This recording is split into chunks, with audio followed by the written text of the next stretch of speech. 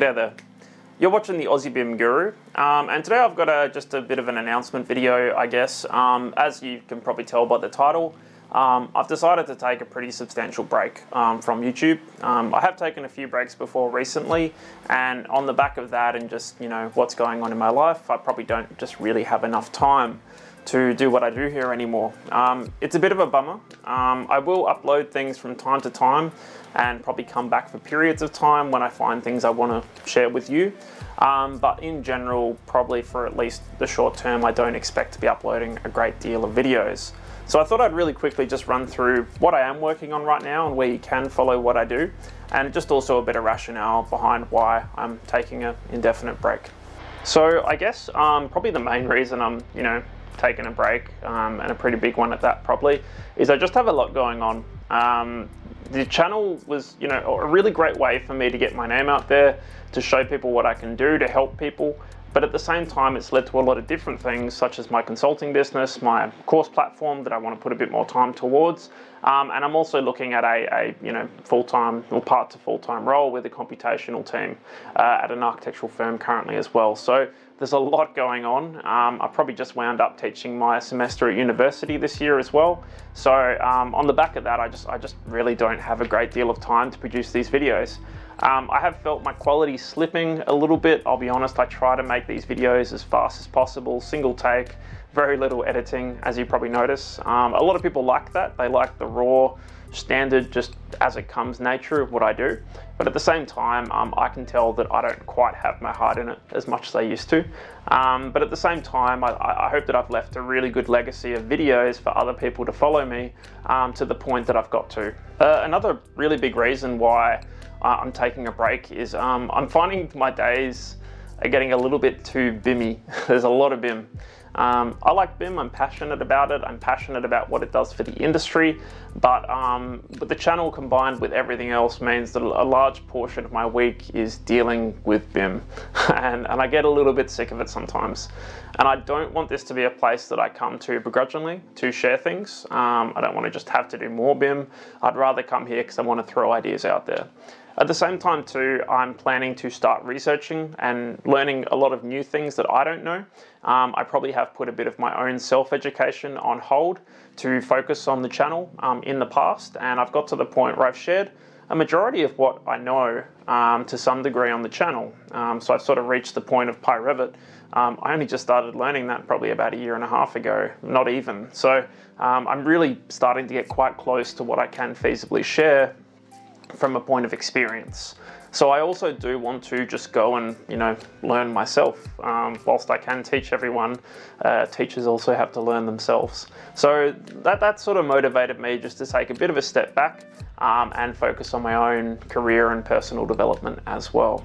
Um, I'm also settling down a little bit in life as well. Um, I'm in my early to mid 30s at the moment, and um, there's a lot of things that I still want to do personally um, in my life and, and, it does require a little bit of sacrifice of my time. You know, I have a partner who you know I care about very deeply, and you know we're, we're looking to take some some new steps in in our relationship together um, over the next year or two, um, potentially moving states, and, and, there's definitely some time I need to put towards that. Um, I've still got my two cats walking around in the background, so I have to take care of them. But but um, you know, one day I'm sure there'll probably be more than cats walking around the house. So. Uh, there's a lot of things I need to manage there as well, so that that's sort of partially motivated me to pick a few baskets rather than too many of them all at the same time. So what am I still working on? Well, quite a lot actually. Um, I had to stand back the other day and just figure out how many side projects I had going and realized I had quite a lot. Um, I actually watched the ArcSci panel and someone said you need your side hustles and everyone got very angry about it, rightfully so, but I do realize I do have quite a few side hustles. So um, I am still consulting um, in a, a, reduced capacity compared to what I did last year because I have joined a team on a part-time basis um, at a large firm, so as a computational leader. So that has split my time somewhat. Um, I've just finished teaching my second semester of university and probably not teaching next year. Um, and as a result, I've got a few other side avenues that have come from all that. So I've got my course platform over at courses.bimguru.education. There's more content coming there quite soon that I've been working on. Um, and I've also got uh, my Crumple Dynamo package and hopefully somewhere down the line, I'll be able to get back to my PyRevit project, um, PyRevit as well. So uh, between all those side projects, there's quite a lot going on. Um, so I guess all those avenues are places you can follow what I'm doing, and you're most welcome to. Um, I do expect to still jump into lots of panels and webinars and discussions. Uh, I did consider making this channel a bigger focus for me. Um, I really take a lot of inspiration from channels like Revit Pure, the Revit Kid, um, and, and how they bring people live onto their channel to discuss what they're up to. Um, but I don't think I've got the time. That was the challenge for me. I, I'm amazed that they both managed to find the time um, in their lives. They're both parents. So I don't know how they do it, but hats off to them that they can. Um, I know they sort of break it into seasons, which I guess helps them manage their time. Um, but I myself, just I'm not sure that's really something that I've got the time for, at least right now. Um, so when you put that all together, um, I guess my time's a little bit short. So I don't know how long I'll be off for. I mean, it could be forever, hopefully not um, but it's just indefinite at this point, I guess.